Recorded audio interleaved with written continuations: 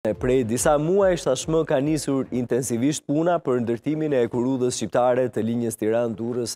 Rinas. Ecuria e punimeve duket e kënaqshme pasi rreth 40% të tyre kanë përfunduar, por për të mësuar më shumë kam në lidhje të drejtpërdrejtë gazetaren në Durrës, tonë në Durrës, Kleida Gjuzi. Kleida të përshëndes. Deri ku kanë arritur punimet në momentin që flasim? Kur pritet që të përfundojë i gjithë projekti? Të përshëndes edhe unë Ilir, pavarësisht kompleksitetit të zbatimit të projektit, punimet në terren për ndërtimin e linjës hekurudhore Durrës Tiranë Rinas kanë ecur me ritme të kënaqshme, sikundër edhe ju e thatë bëhet fjalë për 40% të projektit që deri më tani është realizuar me sukses, janë përfundu, është përfunduar ndërtimi i tetë urave deri më tani që do të bëjnë të mundur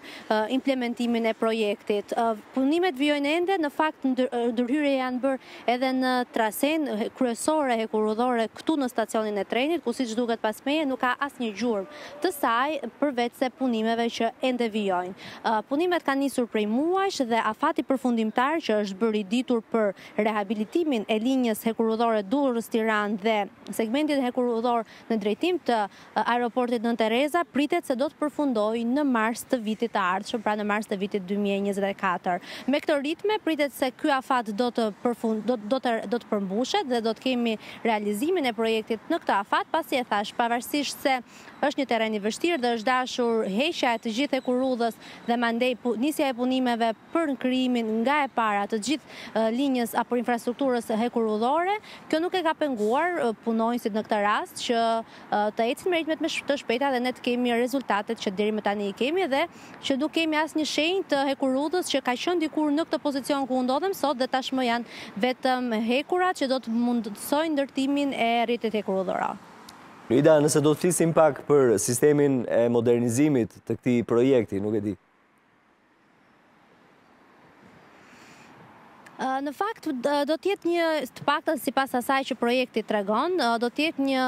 projekt, është një projekt modern, do të ketë mundësinë që qytetarët të udhëtojnë në drejtim të rinasit për një kohë mjaftueshëm të shkurtër, do të Drejt nga Tirana në Durrës pritet që udhëtimi të zgjasë në një afat kohor prej njëzet e dy minutash, ndërsa nga qendra e Tiranës në drejtim të terminalit të Rinasit pritet se udhëtimi do të zgjasë për dymbëdhjetë minuta. Kjo për sa i takon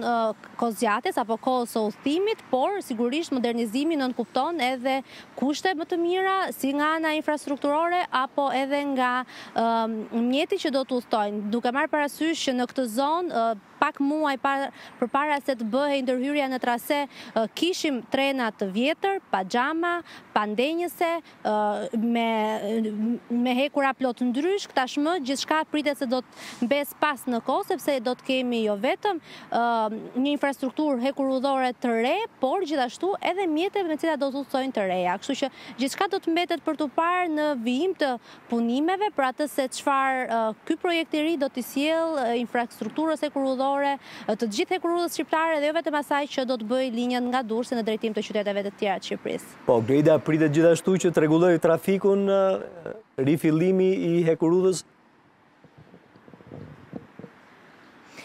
Rifillimi i hekurudhës do të rregullojë shumë gjëra, të paktën për sa i takon qytetit të Durrësit. E para njëherë është pikërisht pamja estetike, sepse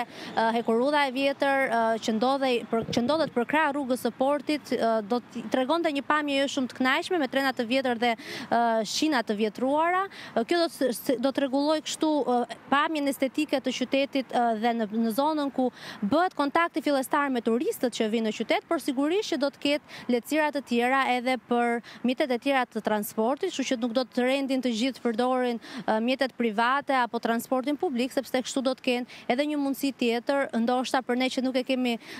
përjetuar kohën e sistemit hekurudhor, do të dynden tashmë në përdorimin e trenave si një prej formave alternative në rast se nuk kanë automjete personale për të udhëtuar në vende të ndryshme të Shqipërisë, por sigurisht lidhja kryesore që Durrësi do të ketë për lehtësi do të jetë pikërisht Tirana në drejtim tandem të aeroportit Nënë Tereza. Po, Greida, të falenderoj për informacionet.